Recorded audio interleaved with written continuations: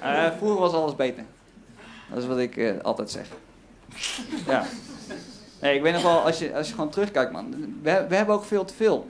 Kijk, toen ik in jaren 15 was, ja, toen, had ik, toen had ik televisie. Dat was het. Ik keek naar televisie.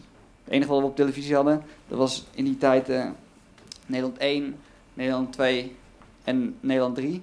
Ehm, RTL 4, RTL 5, SBS 6, Veronica, Net 5, TMF, The Box, MTV, Canvas Catnet, BBC 1, BBC 2, BBC World, CNN, National Geographic, Discovery Channel, ARD, ZDF, ProSieben, Rai Uno, TV 5 en Eurosport. Maar meer had je toen niet.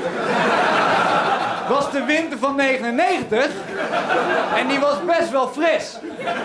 En toen had je nog geen PlayStation 3. Nee, toen had je gewoon, ja, PlayStation. Ja, als je drie PlayStations had en je had ze genummerd, ja, dan had je ook een PlayStation 3. Maar dat wist je toen nog niet. Want het was oorlog en je moest gewoon door. Ik weet nog wel, de Duitsers kwamen met de Aldi en de Lidl. Is echt de ergste prijsoorlog die ik ooit heb meegemaakt. En ik hoop gewoon nooit dat de kinderen dat meemaken. Dat is eigenlijk het enige wat ik wil zeggen. Wees blij met wat je hebt.